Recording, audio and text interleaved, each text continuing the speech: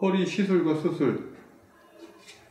이 시술을 그러면 요즘 여러분들 아마 워낙 많은 분들이 또 많은 의사들이 하고 있어서 주변에 아마 경험해 보신 분이 있을 텐데 시술이란 건 이제 신경 성형술이라고 보통적으로 많이 하는 게 그건데 시술은 결국 마취를 안 한다예요.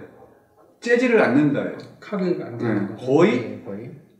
시술 시간이 한 뭐 20분 이내 짧고 그 다음에 그냥 바로 일상에 복귀한다. 그 다음에 보통 이제 뭐 입원을 기- 당연히 길게 할 필요도 없겠죠. 어떻게 하고 가거나 하루 정도 하루 정도. 끝나는 게 네. 시술이고 수술은 환자분들이 이제 물어보면 뭐 현, 현미경을 보냐, 뭐 내시경을 보냐, 어쩌면 그런 것들 막 있는데 뭐 디스크 절제술을 하면은 현미경을 봤냐, 뭐 내시경을 봤냐, 뭐 그런 차이를 물어보는데 결론은 뭐냐면은 외과적으로 마취를 해야 되고 약간의 절개가 뭐 필요한다면 필요한 거고 디스크 터 만약 터졌다면 디스크 절제술을 하면 디스크를 제 물리적으로 제거하는 개념이 수술이 되는 거예요. 이거는 그러니까 내가 뭐 어딜 쨌냐, 조금 쨌냐, 많이 쨌냐, 뭐 어떤 기구 썼냐의 차이가 아니라 아까 말한 마취와 절제를 통해서 병변을 외과적으로 해결하는 좀더 근치적인 개념이죠.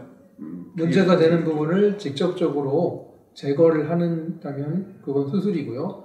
이제 제거를 하기보다는 어떤 약물이나 이런 방법으로 문제가 되는 부분에 염증이나 이런 것만 가라앉혀도 충분히 나을 수 있다면은 그거는 시술로 보셔도 됩니다. 예.